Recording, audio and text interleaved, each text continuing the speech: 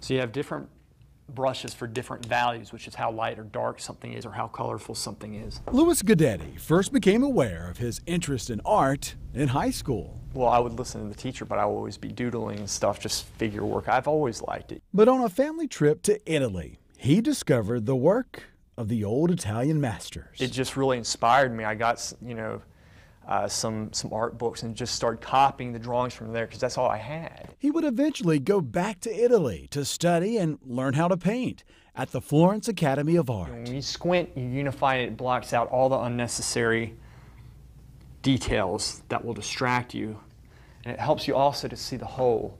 He perfected the techniques used to make a painting come to life. It's almost like it's like ethereal. It's just like it just draws you in.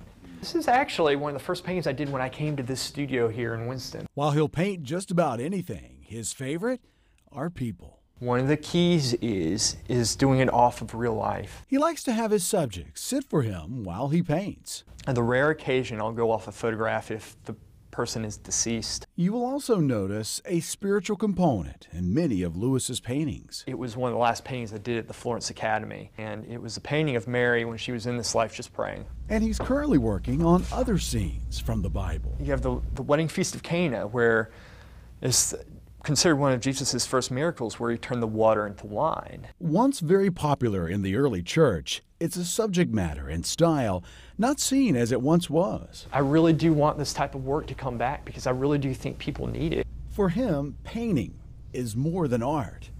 It's a calling. But it's important to be doing not just what you want to do or say you're fulfilled in doing, but what you feel like you should be doing, what's right to do. In Winston-Salem, looking for Roy's folks. Chad Tucker, Fox 8 News.